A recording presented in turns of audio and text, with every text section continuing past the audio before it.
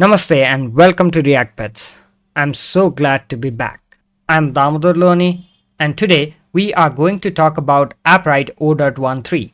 Yes, AppWrite 0.13 has recently launched and brings a lot of cool new features. And today we are going to talk about some of those and we will see some of those in action.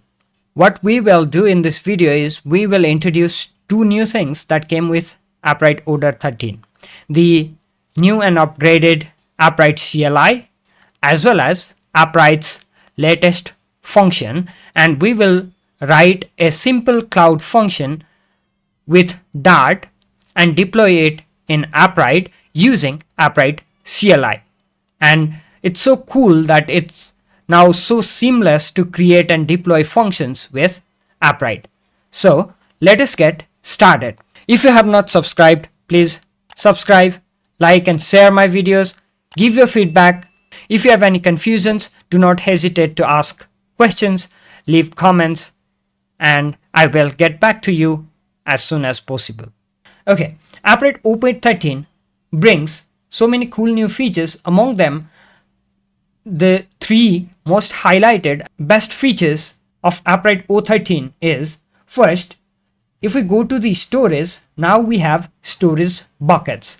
Much like collections in database, buckets are collections of files. So we can have multiple buckets and each bucket can contain lots of files and buckets comes with some additional settings like what kind of files are allowed inside bucket, what is the maximum file size of files that are allowed inside bucket and different permission level like bucket level permission or individual file level permission.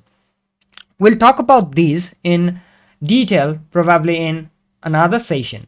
And next is the AppWrite CLI, cool new AppWrite CLI. And finally, another is the upgraded functions. So here we do not see any change to the function. Not much had changed here. However, the way the function works and the performance has improved by a lot. I mean, a lot. And the internal working mechanism have been totally built from ground up to get to this level of performance and building or writing functions with new AppWrite CLI and new functions runtime is very easy to get started with. We will see it in action in just a bit. To learn more about these things, you can go to, if we go to appwrite.io slash docs, and if we visit the individual guides, let's say for functions, we can see what had changed and how to write new functions for each runtime that is supported. And then if we go to the CLI documentation, AppWrite CLI getting started section, then we can see cool new features of AppWrite CLI where we can log in, we can initialize project, we can even initialize collection, we can initialize function. Okay, all right. Let's see all of these in action. Let's get back. Here, I have a development environment set up and as you can see, I'm using Gitpod here. If you do not know what is Gitpod, you can visit gitpod.io. I've been using it extensively and I like it very much. First, we need to install AppWrite CLI dash g AppWrite CLI. Okay, you can install it with npm or you can go to the guide I just showed and use this installation script for your platform. Okay, but I prefer npm as it's already available to me. Hit insert and it should install AppWrite CLI See, it's installed. Now, AppWrite, once the AppWrite CLI is installed, we can just run the command AppWrite login. And once I hit this command, I can log in with my console username and password that we sign up when we install AppWrite.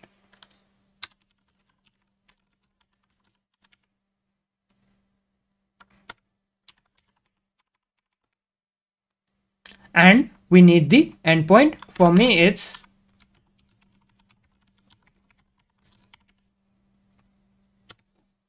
uh, I misplaced the endpoint. If somehow you typed wrong endpoint, you can simply do appwrite client double hyphen endpoint and then space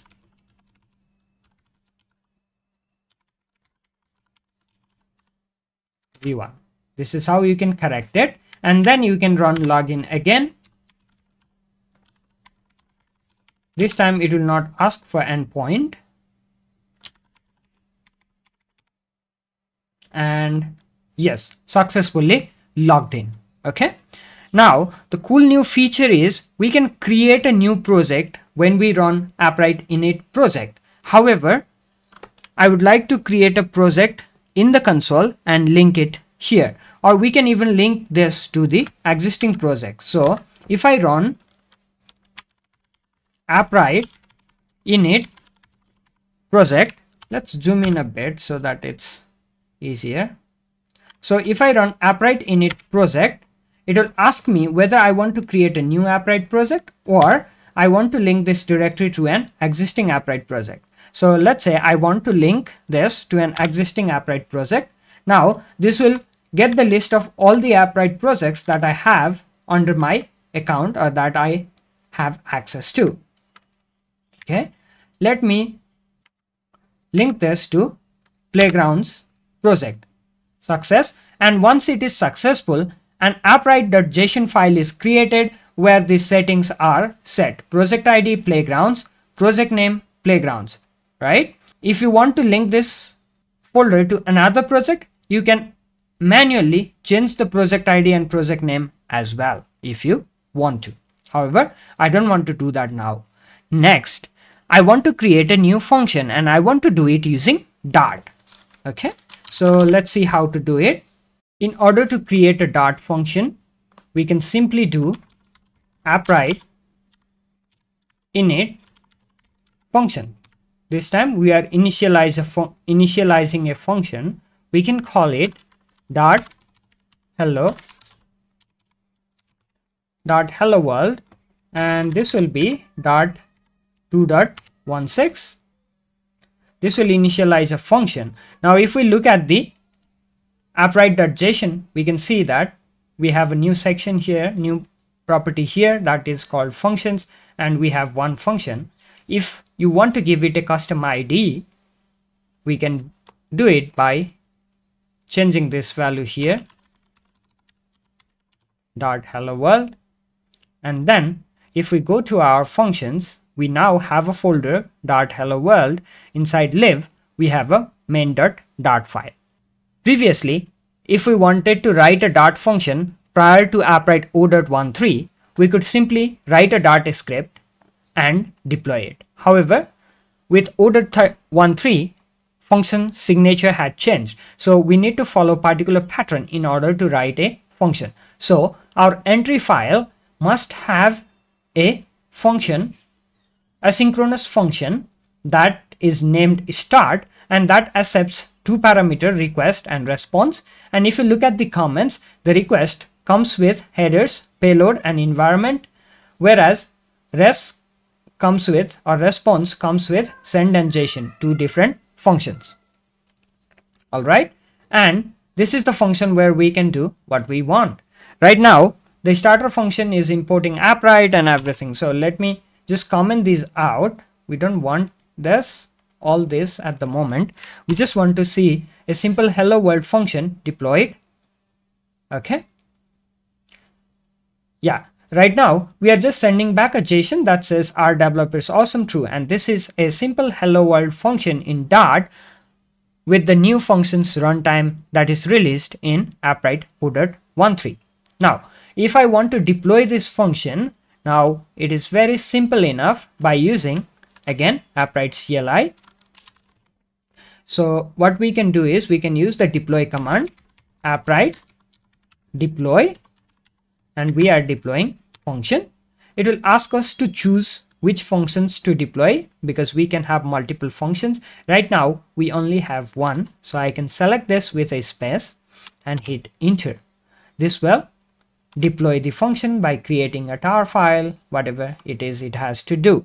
Now that it has been successfully deployed, if we go back to our project or Appwrite console in functions, we can see our newly created deployed function. And if we go to settings, we can see it's still building. It might take some time to build and be ready. And once it's it says ready, yes, it is ready. We can now execute the function. I can execute. Data is optional, so let's just say execute. If we go to logs, see this? 0 0.005 seconds, that is 5 milliseconds and it's completed. We can see the output, our developers, awesome, true. And the crazy thing about this release is we no longer have to deploy our functions along with dependencies. Dependencies are handled by runtime because Appwrite now has a build stage in the runtime that builds our deployment and handles the required dependencies. So in the pubspec.yaml, we have dart Appwrite. Instead, I want to use a simple package. Let's add http package dot add dependency http http has been added. Let's go to our main dot let us import http and let us make a simple get request to a json placeholder api to get a list of to-dos. So here dot get URI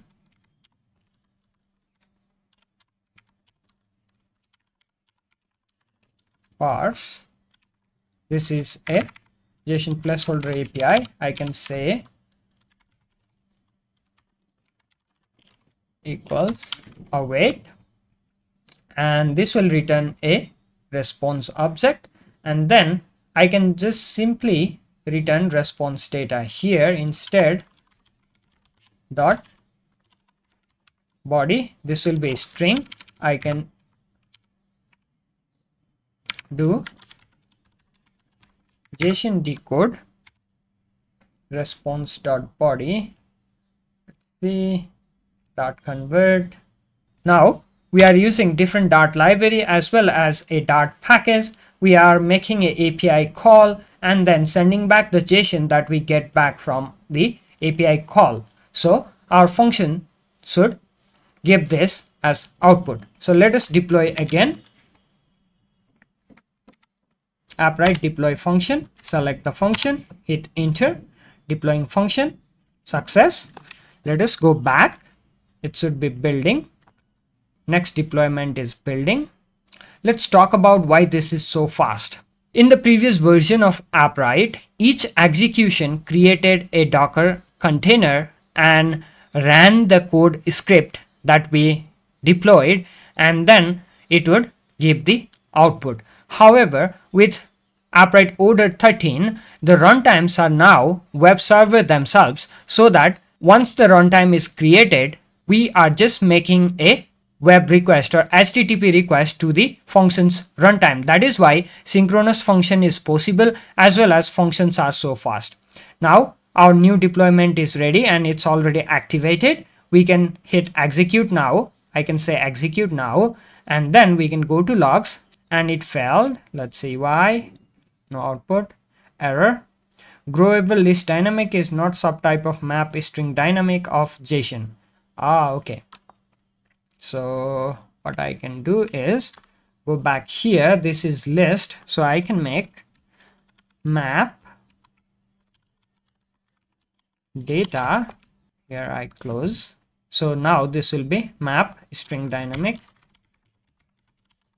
Let's make this string dynamic so we don't have a type problem. So JSON expects rest or JSON expects string dynamic type let's deploy again. Enter. And again it will take some time. It's building. It's ready and activated. We can tap execute now. And we can go to the logs. It's very fast. See in 27 milliseconds it has done the API request and got us back the result. And okay there seems to be some issue. As the result is large it seemed to have truncated here. I'm using a Appwrite version order 13.0 but i believe we already have a fix for this. The truncated result we already have a fix for this in Appwrite order 13.2 make sure to check and update. Let's get back for now. I want to make a request to get a single to do and deploy our function.